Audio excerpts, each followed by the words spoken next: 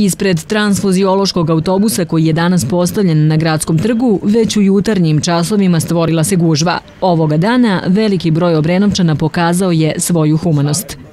I nezapamćena je gužva, vidjeli ste i sami.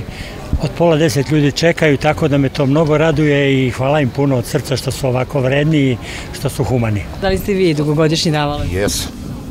40 puta već. Zdravo je. Obnavlja se krv. Odmlađuje se. Osnovni razlog da to nekom treba. Znači da se sigurno bolje osjećate nakon. Stvarno normalno.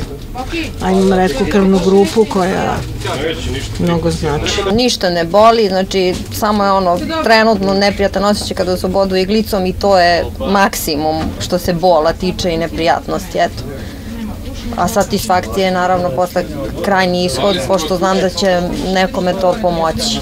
Prema aktualnom zakonu, dobrovoljni davaoci krvi mogu biti ljudi starosti od 18 do 65 godina, ali i pored ovog ograničenja, mnogi stariji sugrađani danas su poželili da učestvuju u ovoj akciji.